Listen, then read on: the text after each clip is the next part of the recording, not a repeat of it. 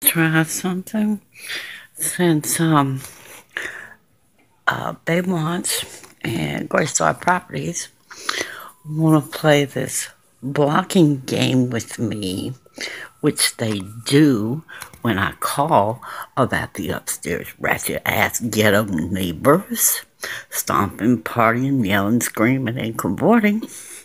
They block my number. So, we're going to call from another number and see what we get.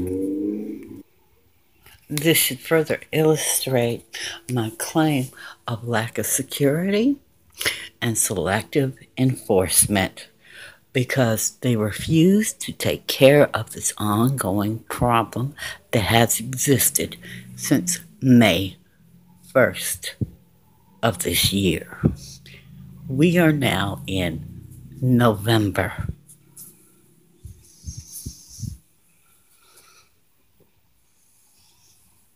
For proof,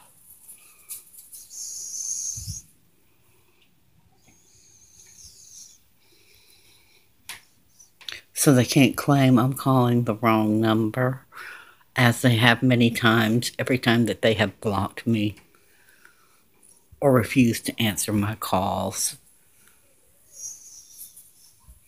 I'm not getting anything. Hold on. I have to have the headphones on because of upstairs.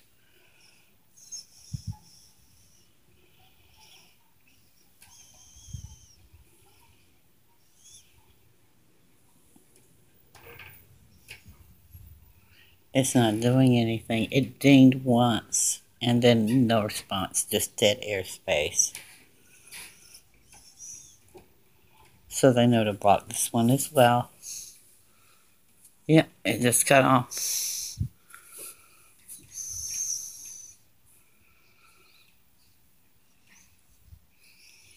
I don't know, it's still there. It still says calling.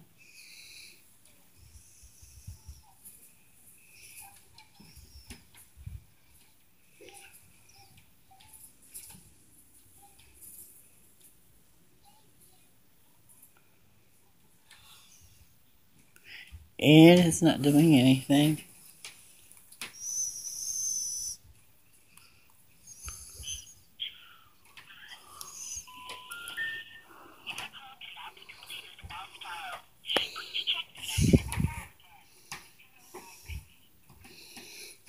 You see, there is nothing wrong with this number. This is the same number. It always has been in the six years that I've been here. Calling from home. I'm going to keep the camera on here. You see that? This is like my fourth time trying to call. The only reason I'm trying to call is past my kid's bedtime and see, look, it says number does not exist. I wanted to do that on camera to verify and to document. Thank you.